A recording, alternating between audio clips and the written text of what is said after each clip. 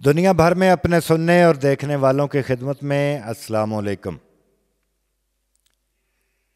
आज का हमारा अनुमान बड़ा दिलचस्प है।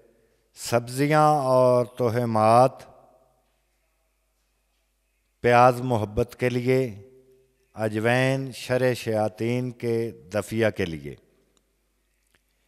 हमारे यहाँ की कदीम तिब की कुतब का मताल करें तो मालूम होगा कि हर दवाई, हर सब्ज़ी किसी न किसी स्यारे से मुतलक है।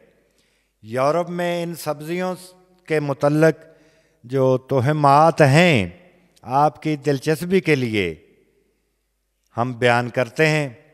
हमारे यहाँ भी नज़रबद के असरात को ख़त्म करने के लिए सुर्ख मिर्चों को बच्चों के सर से वार कर जलाया जाता है।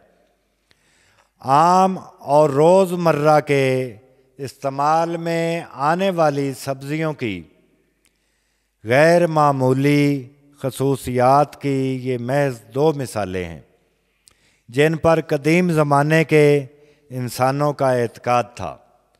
टमाटर गेंठिया के दर्द का इलाज समझे जाते थे। गाजरों को दमा दूर करने के लिए इस्तेमाल किया जाता था। मटर, मोहब्बत की अलामत तस्वर किए जाते थे और लोबिया, असेबी असरात को दूर करने का एक ज़रिया समझा जाता था। आइंदा जब आप घर में सब्ज़ियों की क्यारियों को दुरुस्त करने लगें तो शायद आपको कदीम ज़माने के ये तोहमात याद आ जाएँ, जो हम अभी आपको बताने वाले हैं। क्योंकि मुमकिन है आपकी लगाई हुई सब्ज़ियाँ पूरी तरह नशो नुमा ना पा रही हों। इसलिए ज़रूरी है कि आप सब्जियों को बोने के मतलब जो कदीम इंसानों के ख्याल थे, उनसे पूरी तरह वाकफियत हासिल कर लें और इससे फ़ायदा उठाएँ। मिसाल के तौर पर अजवैन खरासानी को लें। ये एक छतरीदार फूल वाला पौधा होता है, जिसकी पत्तियाँ खुशबूदार होती हैं और खाने को लजीज बनाती हैं। क्लासिकी दुनिया की रवायात में इसको गैर मामूली मुकाम हासिल है। मिसाल के तौर पर, ये कदीम लोगों का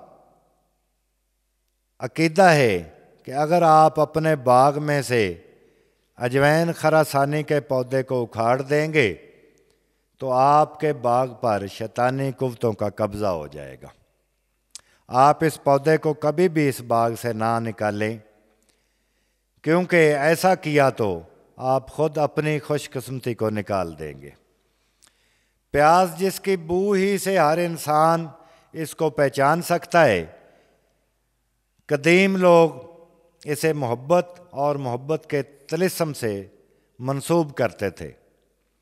कदीम लोगों का अकीदा था कि अगर कोई गैर शादीशुदा लड़की यकम नवंबर की शाम को एक प्याज अपने तकिए के नीचे रख कर सो जाए तो रात को ख्वाब में अपने होने वाले शोर को देख लेगी। अब हम मटर की जानब आते हैं। कदीम लोगों का अकीदा था कि मटर की फली में अगर सिर्फ़ एक दाना निकले तो ये खुशकिस्मती की अलामत है। अगर किसी नौजवान लड़की को ऐसी मटर की फली मिले, जिसमें नौ दाने हों तो इसे या तो इन दानों को अपने शानों पर उछाल कर किसी ख्वाश का इजहार करना चाहिए, या बावरची खाने के दरवाज़े के ऊपर चौखट पर रख कर ये देखना चाहिए कि सबसे पहले कौन सा गैर शादीशुदा आदमी बावरची खाने में दाखिल होता है? सबसे पहले बावरची खाने में जो भी गैर शादीशुदा मर्द दाखिल होगा, इस लड़की का होने वाला शोहर होगा। स्कॉटलैंड में लोगों में लसन को हमेशा शैतानी नज़रों से बचाने वाला तस्वर किया जाता है। स्कॉटलैंड के अक्सर लोग घरों के दरवाज़ों के बहर के ऊपर लसन लगा देते हैं ताकि शैतानी असरात से महफूज रहे। तमाम कदीम एतकादात में सबसे ज़्यादा अजीब तोहमात लोबिया के मतलब है। कदीम मिस्रियों का अकीदा था कि लोबिया ज़िंदगी की हिफाजत करता है लिहाजा इसे अबदी ज़िंदगी की अलामत तस्वर किया जाता था। कदीम मिस्री और रूमी घरों से ऐसेबी असरात ख़त्म करने के लिए आग में लोबिया जलाते थे। कदीम जापानी लोग साल की आखिरी रात को लोबिया को एक कपड़े में फैला दिया करते थे और साथ ये कहते थे कि शैतानी कुवतों यहाँ से चली जाओ। दौलत और खुशी यहाँ आ जाओ। अल्लाह हाफिज़।